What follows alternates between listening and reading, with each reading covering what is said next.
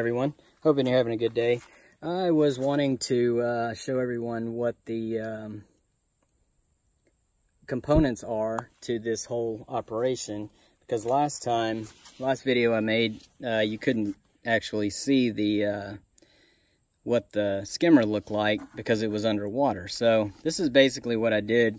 Uh, I used just a regular five gallon bucket uh, drilled holes in it and um, used a uh, elbow and PVC pipes. Uh, this is something new. I just added this just to make sure that none of the um, debris gets sucked up into the into the pump.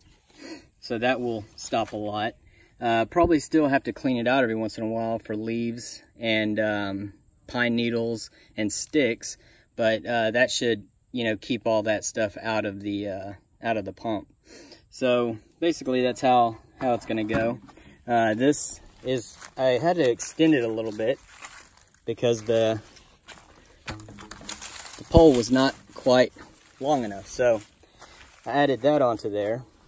And uh, what will happen is I'll put these rocks here in the bottom of that to weight it down. That way it doesn't uh, come up. That was one thing it was doing is even with all the water in the bottom, it was still coming up. So I'll just have to put those rocks in there and then it'll sit on the bottom. Um, this is the pump that we're using. I've shown you that in the previous um, videos, but that's pretty much what we're using there.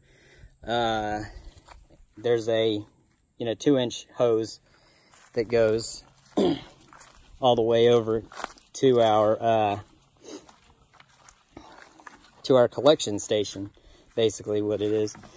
And, uh, I will show you real quick what's going on there.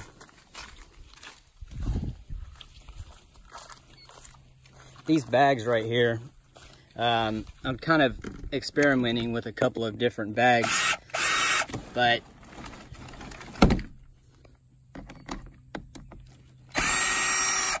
I was using some uh, filter socks and they just weren't durable enough. So we're gonna have to go with some tougher bags. But anyway, I was wanting to show you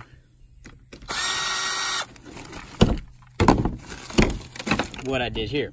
Uh, in the other video, we only had it going directly to this hose here. And the, uh, so I decided I wanted to split it off into two. So it's basically what I did there. Just did a little T. Um, got an elbow here on each side.